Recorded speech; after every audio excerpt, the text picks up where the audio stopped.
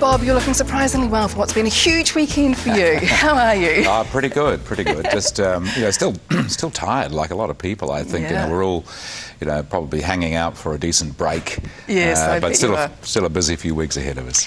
Well, the people of Christchurch have voted, and congratulations, you are our mayor. What would you like to say to them? I'd really like to say thank you, to be honest with you. It's, uh, it's tremendous to uh, know that I've got some solid support going forward, and I'm really grateful for that. And uh, everybody says that it's a humbling thing, but it genuinely is a humbling thing when you stop and think that people have decided to tick the box and give you a job. And I'm really very grateful for that, and I thank you very much. And I work hard and uh, do the things I think uh, that we can do collectively to make this city of ours an even better place. That's right, and there's a lot of rebuilding and things going on. Obviously, um, the earthquake demonstrated great leadership from you, but of course that has to continue now, doesn't it? And- Well, it does. Um, you know, it's business as usual because 90% of the city is actually back to business as usual. Although, you know, retail is down, the, the restaurants are not as busy right now, and we're gradually rebuilding our confidence. I think about going out because home feels safe. It, it generally saved our lives, so it's been a, uh, a very interesting time. But I think we've got an, an extraordinary opportunity in front of us now. Not only are we able to uh, repair the damaged fabric of the city.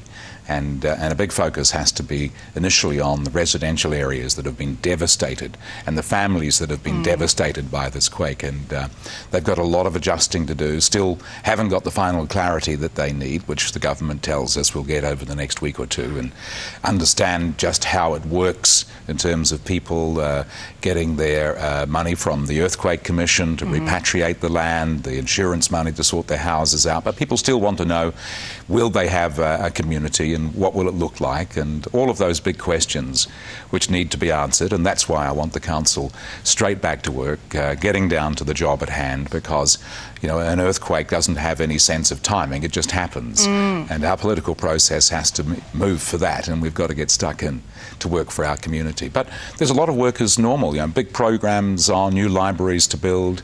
Uh, new roads to be constructed, the northern and southern arterials. Yes. They have big roading projects that are 30 or 40 years overdue. And uh, if you're around Brougham Street now, you'll see the, the new southern motorway is well underway. Yes, it is. New bridges going in, new roads going down there. The northern arterial's been brought forward as well.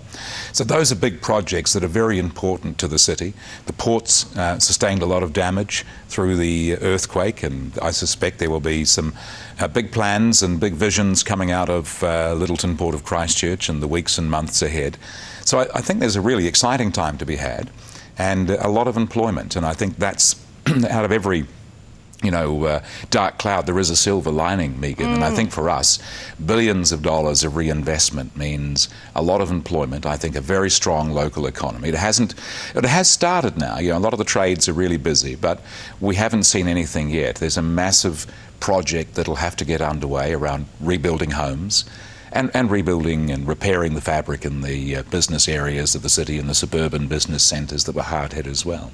So, what are your hopes and dreams, just quickly, for Christchurch for the next three or so years? Well, I want us to emerge from uh, this at the end of three years with a really strong economy. I think we'll have one of the strongest economies in New Zealand. And so, as that greater recession, the global recession, begins to retreat, I want us to be really well placed for that. I want us to ensure that we repair the gaps in the fabric of the city with quality, uh, not with just cheap uh, architectural. Uh, shortcuts, but real quality buildings. We've got a chance to reflect on the heritage and the character that makes our city one of the most beautiful cities on the planet. So I think it's about quality of life as well. Fantastic. Well, um, thank you very much, Mayor Bob Parker. Uh, pleased to see you back. Good news. Uh, on a completely unrelated topic, what do you think about Paul Henry's decision as a broadcaster yourself? Well, you know, I think I think he's been subject to a big beat up. I think what he said was really silly and tasteless and uh, and and embarrassing, to be honest.